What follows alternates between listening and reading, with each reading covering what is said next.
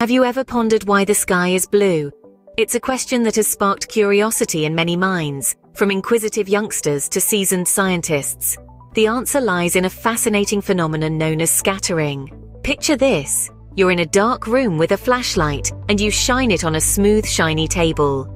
The light doesn't just stay on the table, it bounces back in every direction, transforming the once dim table into a beacon of brightness. Now, let's take that image and magnify it. Think of the sun as a colossal flashlight beaming from the sky. When its light reaches our atmosphere, it too scatters in all directions. But wait, there's more to this story. Sunlight isn't just one color, it's a vibrant spectrum, a rainbow of colors, but not all colors are created equal. Blue light, for instance, is like the overzealous friend in a group.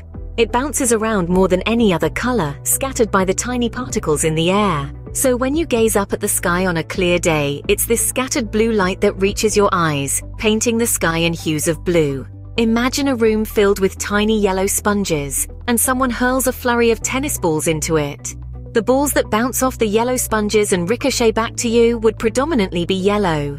The same principle applies to the blue light scattering in the sky. In summary, the sky appears blue because of the way sunlight interacts with our atmosphere.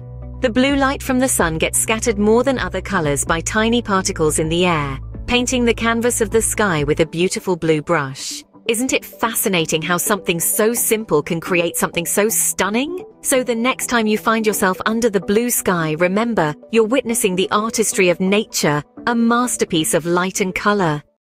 Thank you.